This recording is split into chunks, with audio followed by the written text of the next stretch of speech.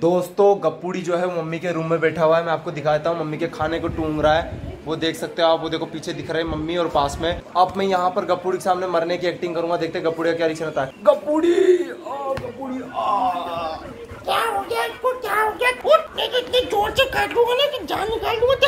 तो हाँ।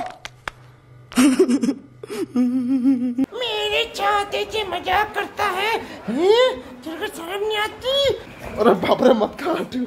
अरे ये तो भारी पड़ गया ऐसे प्रैंक मेरे साथ मत करे कर कितनी बार बोला है मैंने तेरे को